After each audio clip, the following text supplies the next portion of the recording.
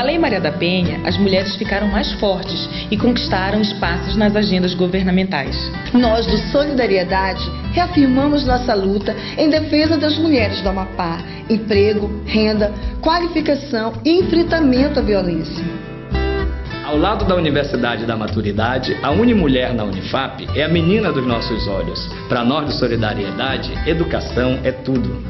Solidariedade. Nossa bandeira é o Amapá.